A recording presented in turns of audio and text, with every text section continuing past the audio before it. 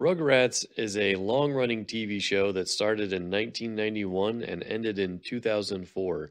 It showed people the life of a baby from the baby's point of view and starred Tommy Pickles and his annoying sister Angelica.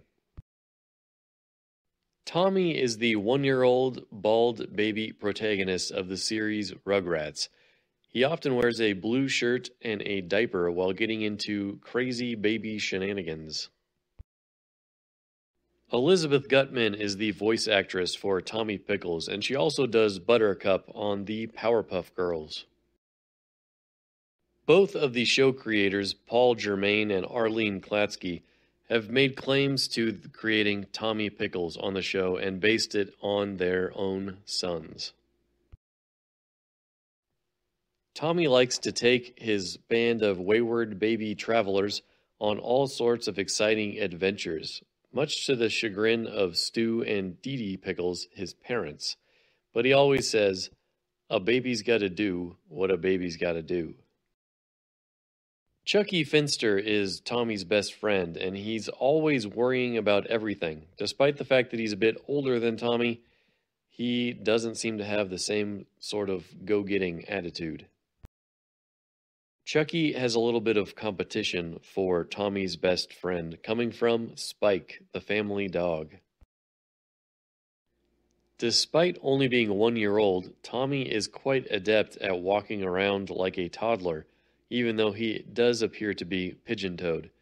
His older self, in All Grown Up at 11 years old, is clearly a bit better at walking. He has purplish, spiky hair, and he still hangs out with his best buds, Chuckie, and Dil. Throughout the show, Tommy showed his natural abilities as a leader, although he may have sometimes taken on too much risk. He was a brave and adventurous type that we can all look up to. In fact, I might just be going back to watch the show again so I can get a better idea of just how that works. If you enjoyed this short video about Tommy Pickles, please leave a like. If you think we need a Rugrats reboot, then share to spread the word. If you think the show was best left where it is, then feel free to leave a comment. Hello, fellow nerds. Krononaut, a band of time traveling nerds, are here to bring you all the lore from the Marvel Cinematic Universe, DC Extended Universe, Star Wars, Pokemon, and more. I hope you'll travel with us to the past and share your ideas with the group on where you think your favorite cinematic, gaming, or comic book universe will go next.